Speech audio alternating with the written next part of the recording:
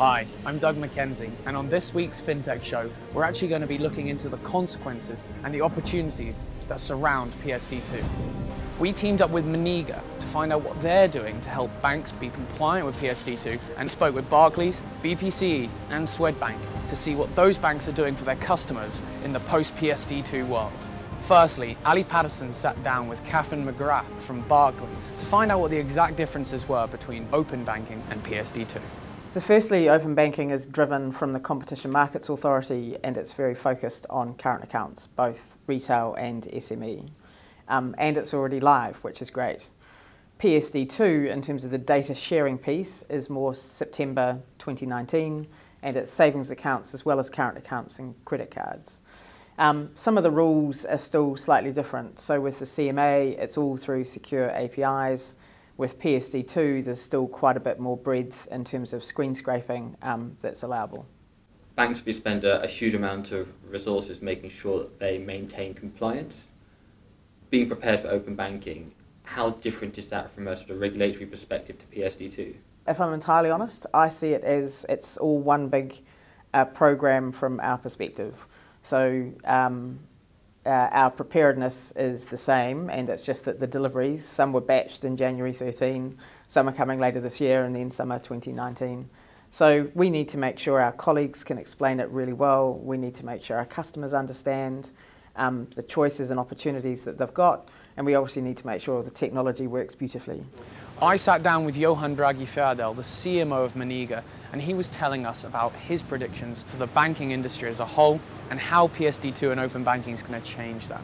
PSD2 and, and more generally the, the whole open banking regime has the potential to fundamentally change the way we consume financial services. So everything from who is offering us financial services, uh, whom do we trust to advise us on financial services, and ultimately what kind of products and services is it that we are, we are exposed to. So for example, I mean, from a consumer perspective, although I think the change will be gradual, I think over time we'll get more used to um, other parties than banks potentially offering us or advising us on financial services. Companies like telcos, potentially the tech giants that are already sort of moving gradually into financial services like Facebook, Apple, Amazon.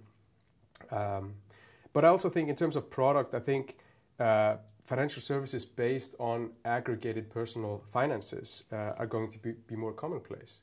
So an example could be uh, a financial advisor that uh, you know automatically notifies you when something happens in your personal finance situation. So uh, imagine you having an app that tells you every time you have an, an, an unusual spend in a particular category, or when your balance is close to zero, or when you're in a situation where you need a particular financial product, you know, it's a more personalized, you know, notification-driven experience. I spoke with Lotta Loven from Swedbank about their perspective on regulation in 2018. I think that in the Nordic markets, the open banking will kind of continue the journey we are already into, where, where banks are uh, becoming some kind of ecosystems. Uh, and I see open banking as three things. It's a um, technology solution and the opportunity for us to aggregate data to become the, the full uh, financial uh, provider for our customers. It's also a, a, possibility to distribute our services through others and it's an opportunity to find collaborations with fintechs and others to uh, really create good services to our customers. But on the other hand, I think that going outside of the Nordic markets and some of the other more uh, mature European markets, this will become something rather dramatic. Uh, but uh, that depends on where you are in your matureness and digitalization journey. Lea Jacobiak met with Francois Perol from BPCE to find out more about their partnership with Meniga.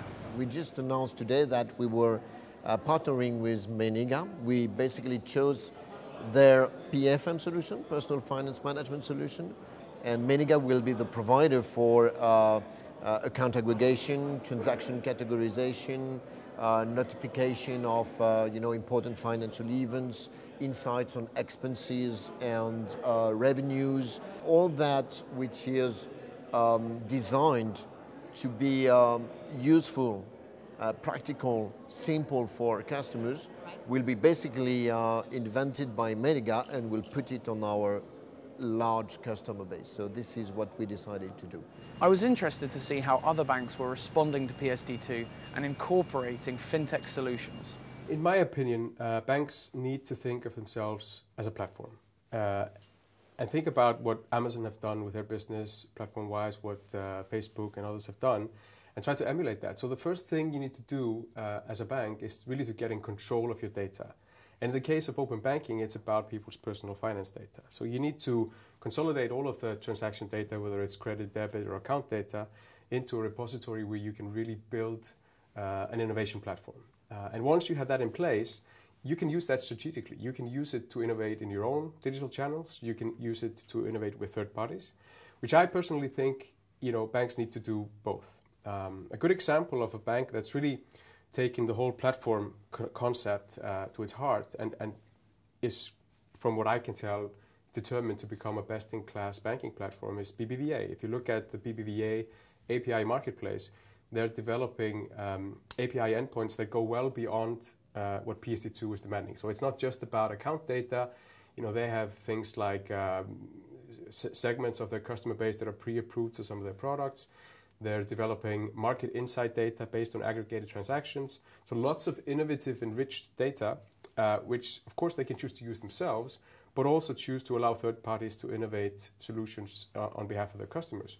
Um, and what's interesting, I think, about that, and I think about anyone that's doing this, is that you could uh, monetize some of that enriched data. You could choose to give it away for free to, to, to allow more innovation, but it's a strategic decision. But having the platform is the first step.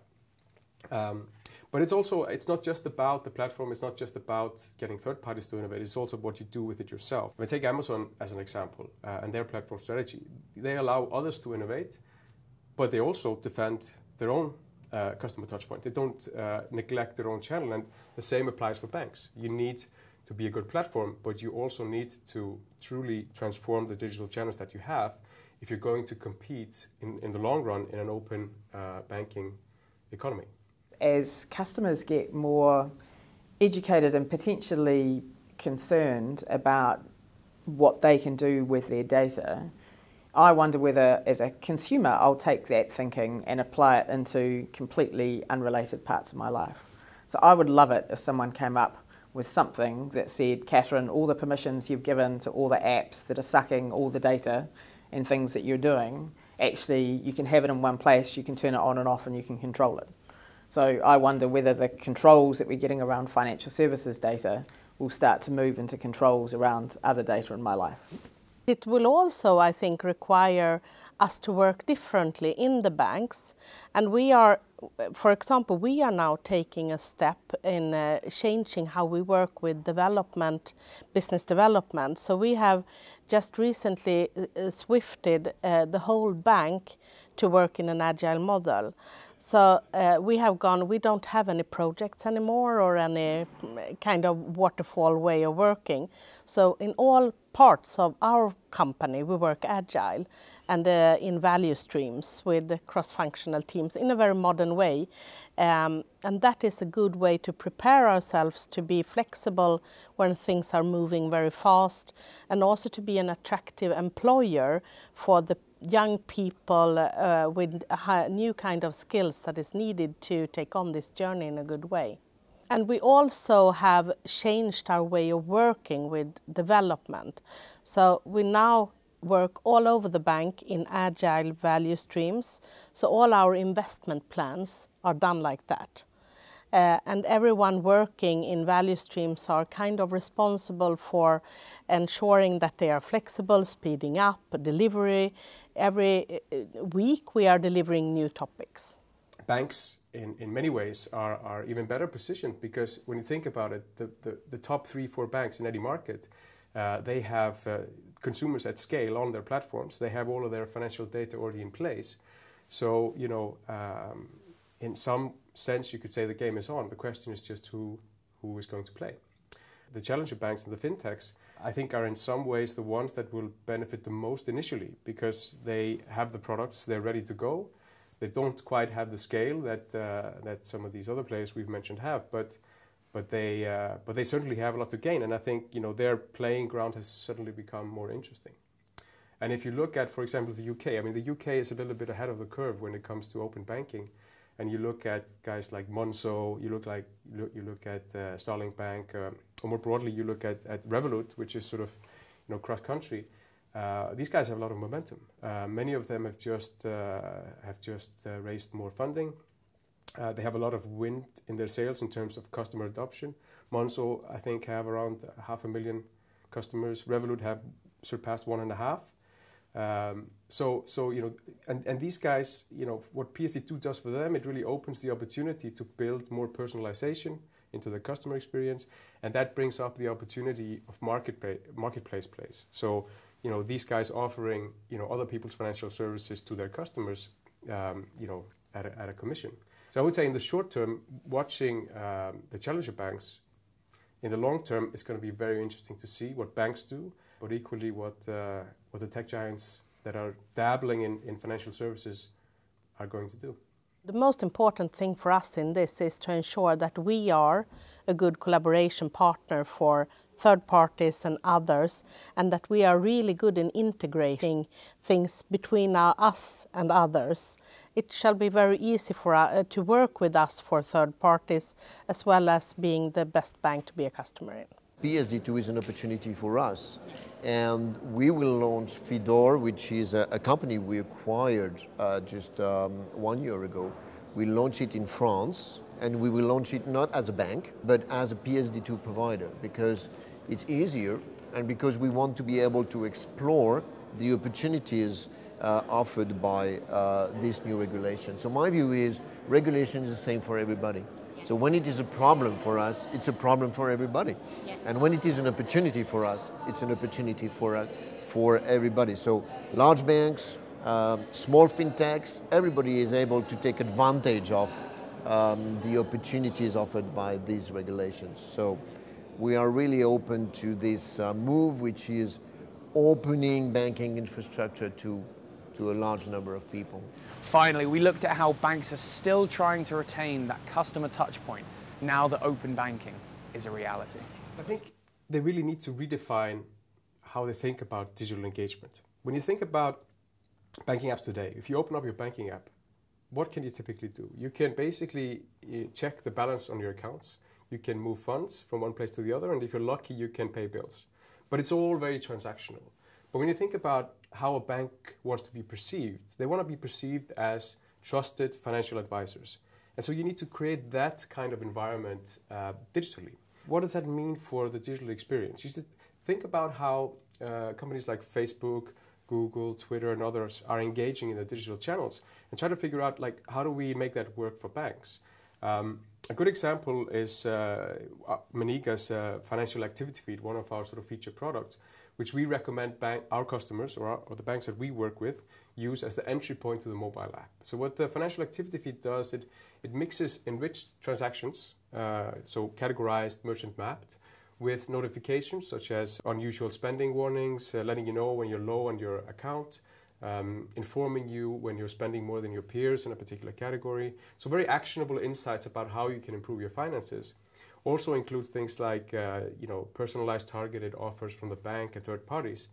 All of this mixed in with transactions. So it's almost like a feed of your financial life as it, as it unfolds. And every time you log in you know there's new information there's new advice uh, and every sort of item in this feed is, is an entry point to sort of more advanced functionality. So this is an example of how you can really build a digital environment that facilitates this daily contact or, or, regular contact between the bank and its customer in an advisory fashion. So that, that's a good example. Another example is, is, you know, we've recently been very inspired by what Fitbit and Strava have done in the health sector. Really sort of get people to engage with data and, and, and use data to help motivate themselves to improve their health. And, and we've de developed similar tools for our clients to help consumers improve their financial health. And so these are the kind of thoughts and and innovations that banks need to bring to bear in order to improve the digital channels and create engagement that can compete with whoever is going to step into this space. That's the way that banking will be done in the future. So it's kind of how you will remain the most important bank to your customers, to really embrace what's happening around you and the new technology. And open banking is actually the next step. PSD2 was the door opener. Open banking is what will happen after PSD2. So uh, not embracing open banking is not an option for banks, I think um, this is the way forward. So if you want to remain the, the one customers prefer, you need to embrace the new technologies to ensure that you are delivering the service and functionality and capabilities that consumers uh, demand. How are you looking to use open banking to really ensure there's a lot of brand loyalty and that level of transparency that banks that you do not become a utility, a bit like what's happened with telecoms, arguably? So I think it would have been quite easy at the beginning to see it as a big threat and behave as an incumbent. So what we thought we'd do is really understand what our customers thought and what our customers wanted from it. Two things became really clear really quickly. One was they wanted to feel safe and secure, and if they felt like that, they would be very happy to engage with it. Now, we have a, a great reputation for trust um, already, so we're doing things like the Customer Permission Centre that helps customers feel even more in control of their data. The second thing is about designing with the customer at the heart. So customers say, I'm comfortable bank that you make a fair return in terms of my banking with you. Therefore, do smart things with my data and always be on my agenda. And I think if we continue to stand back and say, is the use of data always understood by the customer and always on their agenda, then I think we'll do really well. We have an awesome app already that gives me all the easy, frictionless things that I want to do. We also have fantastic colleagues who can help you when it's actually a bit complicated and you want someone to help you navigate through it. By making sure that our colleagues can see the same things that our customers can see, it means when I've got a question about my consolidated finances, then our colleagues should really be able to help. So we see the technology of open banking really enabling our colleagues to have better conversations with customers than they've been able to before, because we'll be able to see more of a customer's financial life. But I think it's also about going beyond that. Uh, one thing is improving your channels. The other thing is really building new propositions. Uh, and a good example of, a, of, I think, a very attractive proposition that banks have to date not, well, I, I shouldn't say ignored, but not done enough about is, is, is targeted uh, card-linked offers. So what that means is that uh, banks with good scale, so say top three bank in any given country, um, has the scale to attract uh, merchants to, to, to target their customers with, with offers. So let me give you an example. Uh, let's say we have a bank with 20% market share in any given market. Uh, they walk into uh, one of the leading um, sports uh, equipment retailers with uh, a segment of 200,000 consumers. These are basically people that spend uh, more than average on sporting equipment, but they're not shopping with this particular merchant. Now, the proposition is that you, as a merchant, can have access to these consumers through the digital bank, but your price is to give them a deeper discount that you, than you would normally give, uh, and then maybe a small commission for the bank.